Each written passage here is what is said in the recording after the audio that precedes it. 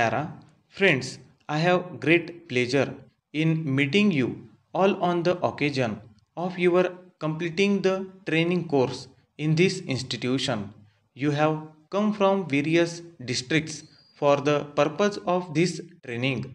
You will be going back to your places and taking charge of your duties in your area. At this juncture, I think it is necessary for me to tell you some important things you will have to remember while discharging your work. Para, as you all know, one of your duties to see that the children of school going age in the villages attend school without fail. It is also a fact that some parents are not willing to send their children to school even at the age of 7. You will have to meet them and convince them that educating a child is their main responsibility. You can get the cooperation of the teachers also for this purpose. If you are able to explain to the mother that her child will be looked after properly during school hours, she will send her child to school.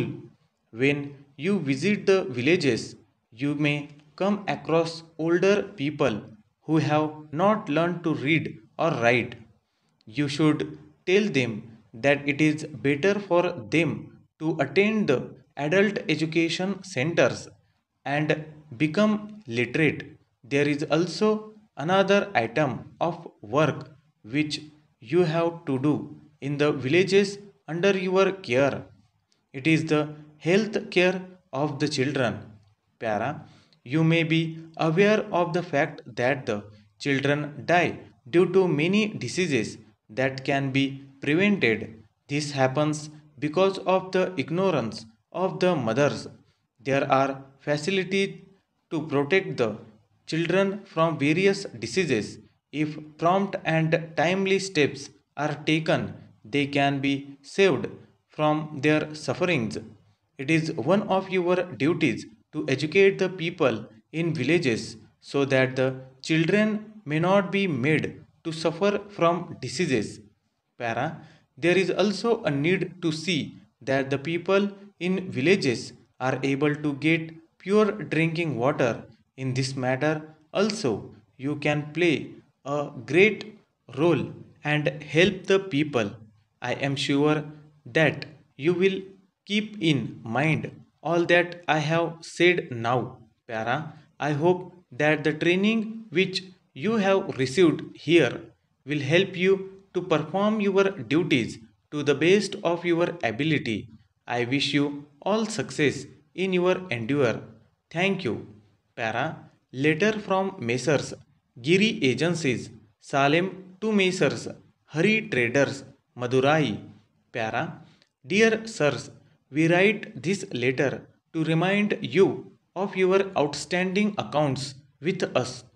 We would like to request you to send us your check within a week in payment of those accounts in spite of our several letters to you recently we have not received any reply from you when your representative called on us some months back he stated that the would settle the accounts as early as possible we are sorry that there was no action on his part we are not in a position to understand your silence.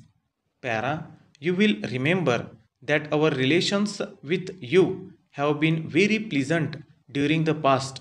In view of that, we did not want to take any action in the matter against you. We hope you will not compel us to resort to any steps that will spoil our good relationship expecting your early response. Yours faithfully.